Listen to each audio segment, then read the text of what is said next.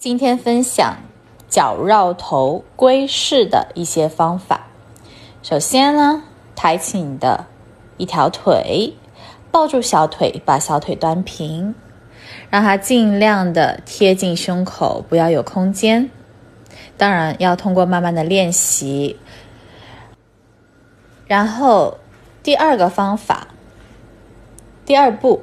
我们把你的膝盖再往外打开，保持大腿外旋，然后把脚拉向你的额头，去找到在这个角度的伸展。那是脚去找头，不是头去找脚哦。所以你的脊柱还是要保持直立，坐高。第三步，在脚找头的基础上，找向你同侧的耳朵，往后拉。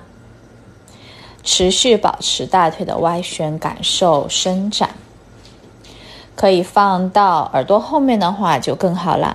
然后第四步就是在这个基础上，用对侧的手拉住，